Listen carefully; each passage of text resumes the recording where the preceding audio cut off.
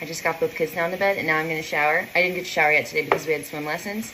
And I've decided that I'm going to shower by candlelight. Have you ever done that before? I haven't. Why not take a bath by candlelight? Because one, we don't have one in this bathroom, and two, I don't really like laying in a pool of my own filth. So I wanna see if this is gonna be light enough. Mm. Submitted for the approval of the Midnight Society. We call this story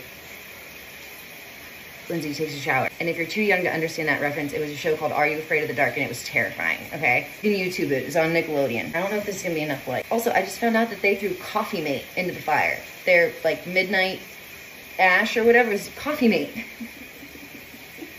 just throwing like French vanilla. Anyways, I'll light a few more candles. Mahogany teak wood, baby. I actually feel like I, this might be a little scary.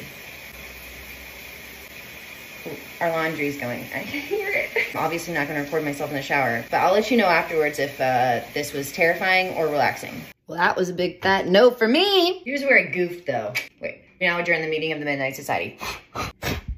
Make a wish. Smokes in my shot. Here's where I goofed. First of all, I shouldn't have done this on a night where my husband was not here. I also should not have been running the dryer because it was like, dark, dark, dark, dark. Scared the crap out of me. Also, I couldn't even see what I was shaving, so. Yeah, do not recommend. Hey, we're trying new things and that's what counts, I guess.